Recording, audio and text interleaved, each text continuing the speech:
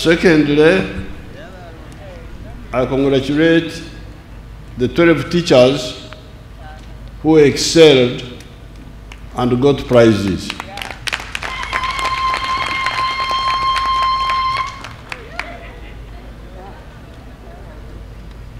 In our Luganda language, we say, Adingana Mawolu, Agajamo omukuto that if you keep eating, eating cold food, you will be satisfied eventually.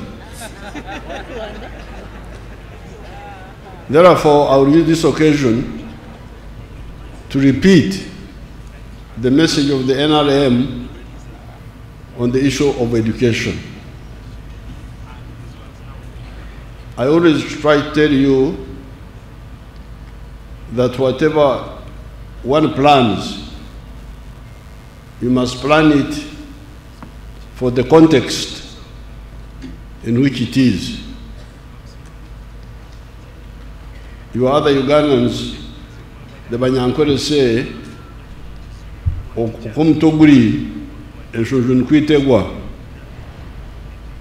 which means that the hair, the hairstyle depends on the the hairstyle depends on the shape of the head if you have got a big head the hairstyle will also be similarly affected. Therefore, our plans depend on the history and the capacity of Uganda. I have told you a number of times that by independence, there was a, a small island of a modern economy surrounded by a sea of underdevelopment. That small island by 1962 was being described as the island of the three C's and the three T's. You are teachers, you should know all this. The three C's were cotton, coffee, and copper, and the three T's were tobacco, tourism, and tea. By 1962, recently they give me figures, only 9% of the homesteads were in the money economy, which means that 91% were outside the money economy.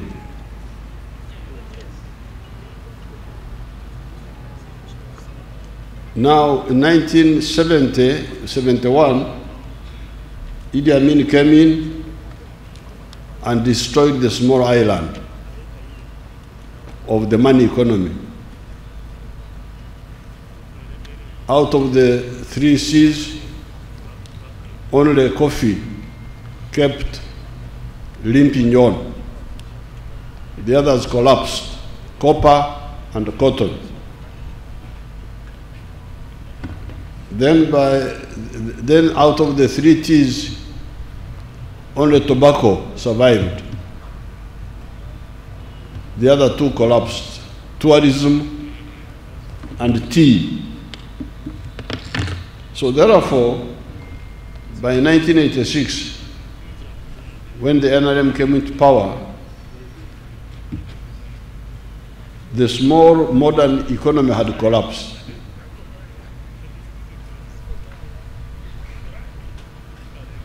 And we have now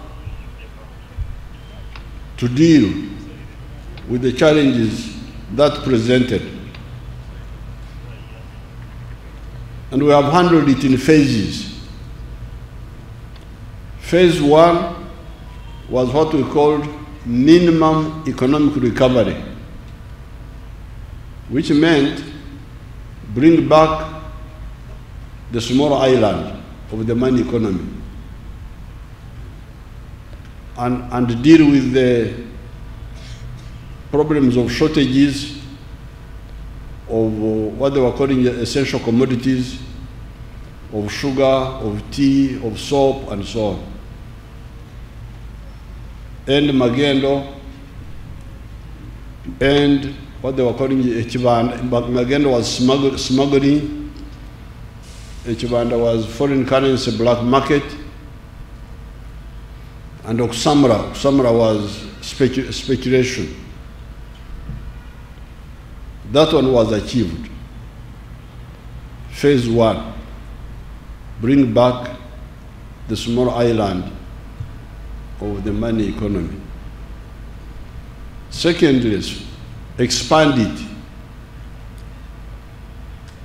And you have been seeing what was, has been happening.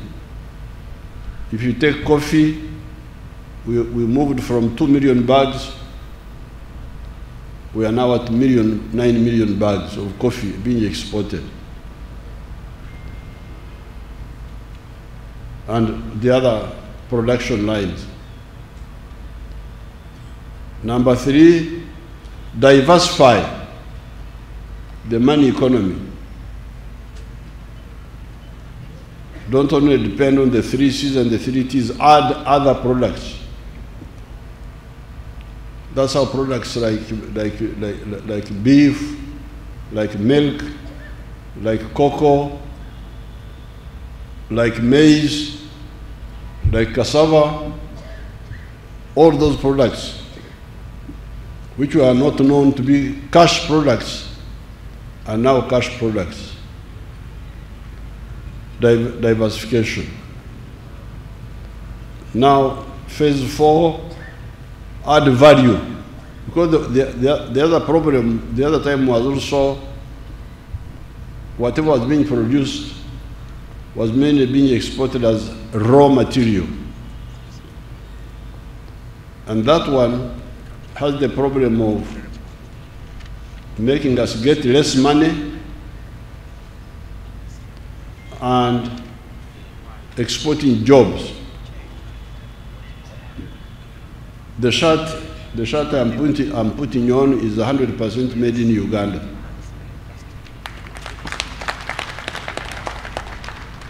And if you analyze this shirt here, you will see six levels of jobs.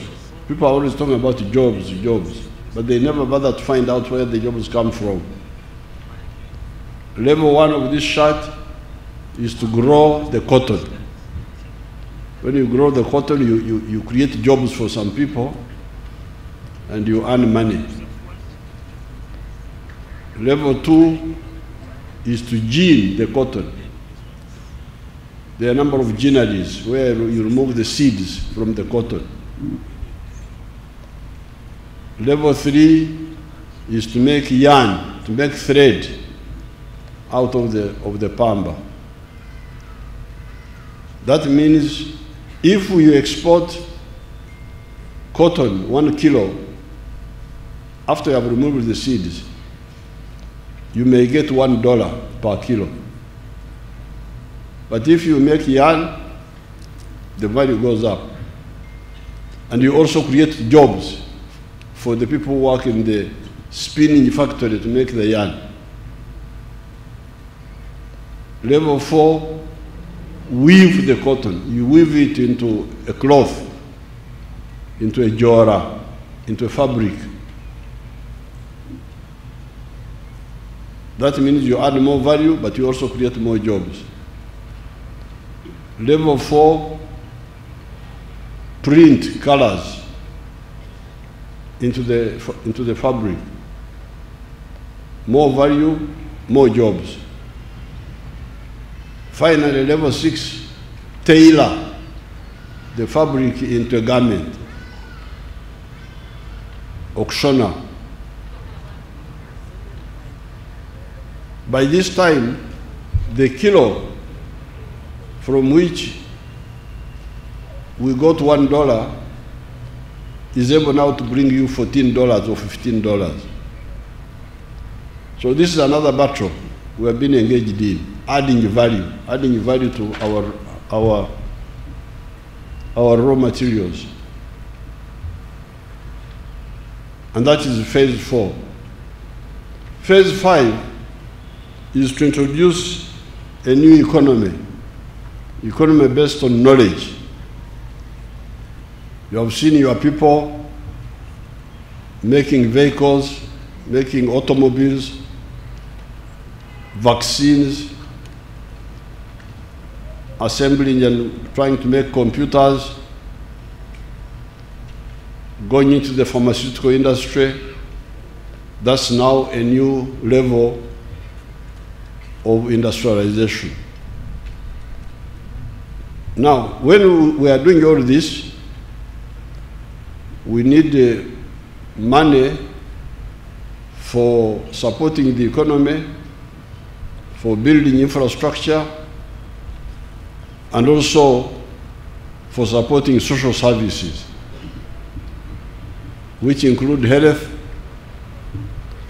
education, and so on. And this is where we get now another point which I would like you to appreciate. When they are the small economy of the colonial times, even before it collapsed, the education went through was elite education education for a few, very few people. You can go and check how many children were in the primary schools by 1962. Very few. You can, you can check how many children were in the primary schools, how many pupils were in the secondary schools.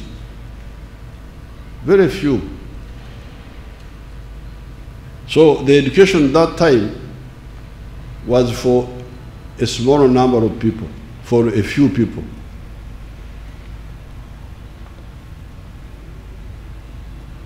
But when we came in, we could not accept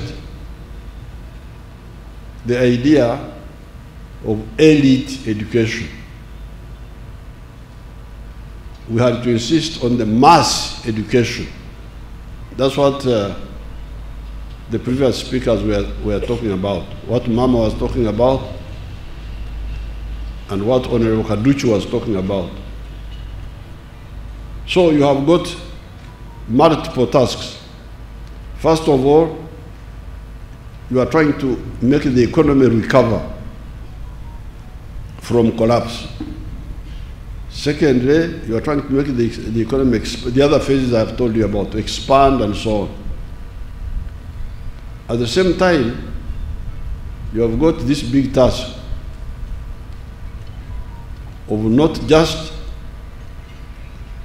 dealing with a small number of learners, but dealing with the, the large number of learners.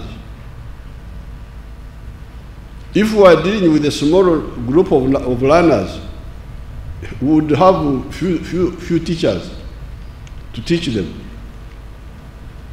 And they could be paid very well, the few teachers, to teach a few.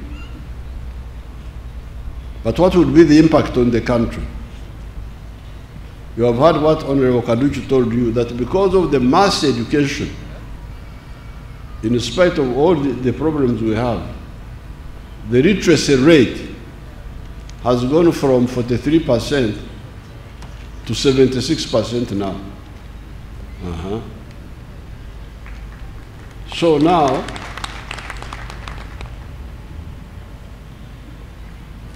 abo muganda you remember the, the, the, those who are laughing at our strategy. Now you see literacy has gone up. So now, when we, you have this problem of dealing with the recovery of the economy, at the same time dealing with the bigger mass education, mass vaccination, because for everything we do is mass, mass. We try to cover everybody. Mass vaccination, mass education, security for all, to bring peace in the whole country. All this needs money. So what do we do?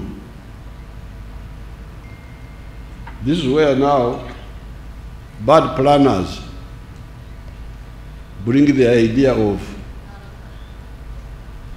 banyankore call it oku- okumemerera I think Baganda call it okumamira. My people told me that in Luo it is called poor, poro, poro. Sprinkling small, small, small, small. That, that strategy we don't accept. When we were in the bush fighting, we had a lot of problems, including hunger. We didn't have enough food. If you don't have enough food, what do you do? If you democratically starve everybody, what will happen when the enemy comes to attack you? That's why I would say, uh-uh, the little food which is there, give more to the people who are on, on duty today, the ones who are guarding the camp, so that for them they stay awake, because when you are hungry, you doze, you doze, you doze. So even wh- when we are sleeping because of hunger, at least somebody is awake. But some people are saying, no, fene katwebake, oba tufa tufe. That one I cannot accept. This is really, uh, this is suicidal. This fellow who is, who is guarding the camp now, he is not the most important necessarily. He may be a small person. But he's the one guarding the camp. Let him stay awake. It okuguya guya. When you are hungry, you are dozing most of the time. Let's sleep, but when the e- enemy comes, this one who is alert will wake us up and we shall, we shall survive. And then, that's where the other proverb comes in. kamukamu gweki kamukamu gweki kamukamu gweki akwata empola akola ki bugubugu si ki ah, byonna mubizeemu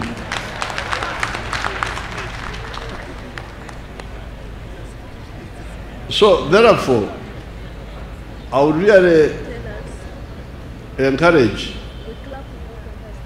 because if you see the economy is growing, like for instance, when we put more money in 2006, we put more money on the roads and put more money on, on electricity. Now we have got surplus electricity. With Karuma, with the Simba, now we have got surplus electricity. It came because we put more money from 2006. You remember 2005, those who are old enough. Remember we had a problem of load shedding. When, when some parts of the, of the country would be off, off without electricity, then you wait for hours. Now there is surplus electricity in the whole country because we said yes, yes, we have got many, many needs, but in order for the economy to grow, we need electricity and some communication. There are other important, uh, like water. If you see the budget of water in 2006 and so and after. It was quite small compared to what we put in electricity and put it uh, put in on the roads. Not because we didn't know that water is important, but if you can't do all, what do you do? Why not start with something that will help you to get to a higher level? Because electricity will mean more factories, more, more businesses, and that means more, more taxes and so on. This is the, the context I want you to understand. The, of course, Mama told you other aspects like, for instance, the teachers in the private schools are getting less money, but they work more. That, that one is a challenge. So, so therefore,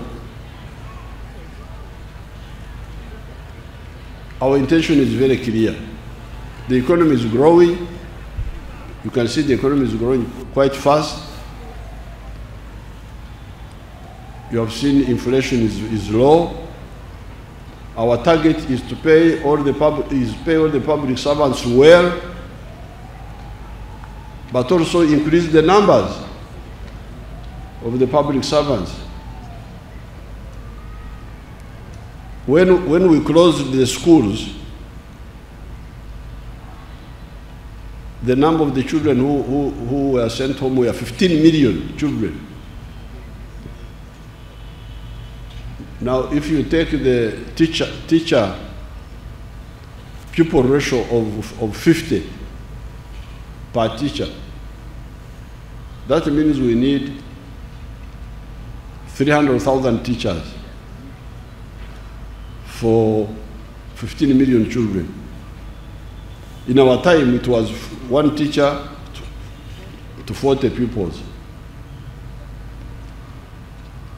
So you can see we need more teachers. But now we are not able to hire them. But where we are going as the economy is growing, and if we, if we all act together instead of empaka, instead of arguments and then uh, struggles,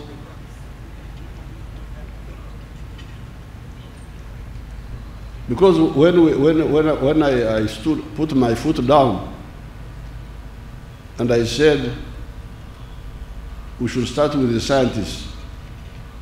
I am a, I'm- a person of social science. I'm a, I'm a literature man. I can quote for you Shakespeare here, if you, if you want. But we had a, a problem in Soroti. Soroti, we have got a very good flying school there. Soroti Flying School. Now, some of the, our people are trying to, to bring this democratic, democratic suffering that, that we should all democratically suffer.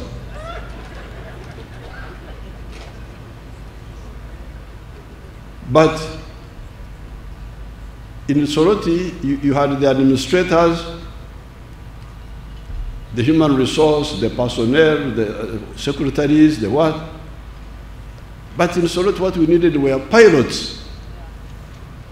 Yes, we needed some administrators, but without pilots, there is no, no meaning to an, an, an, an, an, a, a, a flying academy. We needed pilots and aircraft engineers. Now, in the private sector, a pilot on a jet engine is earning 25 million shillings. So, if you don't pay them that, they will not come to Soroti. And the academy will close. So, when we told the, the, the no, but when we checked, the general manager, who, who is a man, a man of, of, of, Greek or Latin, who studied uh, literature like me, he wants to get more money than the pilots, and you don't have the money. So we, we told, we told the Sorot people, please, here we need pilots. There may be smaller people in terms of rank, but they are the ones we need. So we started paying the pilots uh, what they should be getting in the private sector, in the, in, the aircraft, comp- in the airlines. And the academy now is big, uh, big business, Attra- attracting, uh, attracting uh, students from many parts of Africa. So this is what we are talking about. What do you do? What we need now in the case of Soroti, what we cannot do without, the human rights, human resource person can resign and go, the, and we get another one. The personnel person can resign, but the pilot, pilot instructor, if he's not there, there's no academy. So what do we do now? So really, my young comrades, this is the issue. We don't have to waste time on this. It is clear we have, uh, some of us have been involved in all this for a very long time. When we were fighting, that's what we did. We had many needs. You need clothes. You need uh, medicine. You need shelter. But when we were fighting, what we needed most was a rifle and the bullets. How about clothes? Don't worry. If you get them, put them on. If you don't, you, e- even a naked person can shoot you.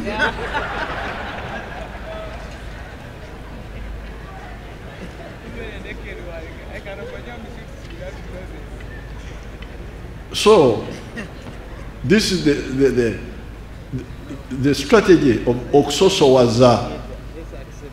Oksoso Waza. To prioritize in order, in, in the context of scarcity. So I thank you, uh, the teachers. We shall examine the issue of the holiday for the Teachers' Day. Although we already have many holidays, because, because in Uganda Saturday is a holiday, Sunday is a holiday, the Muslims are saying that Friday should also be a holiday.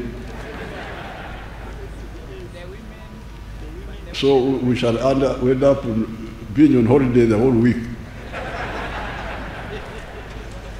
Now, if you add all the other holidays, ha, you go on and total up the holidays in a year. Next time we meet, we meet at Teachers' Day, I will bring you the figures. How many, out of the 365 days, how many holidays are, are, are there? And how many days of working? This one study, I will, I will report back when we, to, to your people. I want to thank Ireland, the country of Ireland. They are very good friends. They always help sincerely. I thank them so much. And as Mama was saying, the Irish teachers are always doing a great job. Sister Kefas is the one who educated our, our girls at Namagunga. Then you have got uh, Dr. Dr. Dagan. Dr. Dagan was very active in Zambia. We really appreciate the, convey our thanks to the Irish people. They are good friends. And the ambassadors are also very active and friendly people. With these few words, I congratulate you again and I wish you good luck. Tumweraliikirira tuge- tu- mpola mpola mpola mpola ekola ki? Mpola mpola ekola ki? Akwata empola akola ki? Waliwo abatakkiriza Katonda abayambe. Thank you very much. Thank you very much, Your Excellency.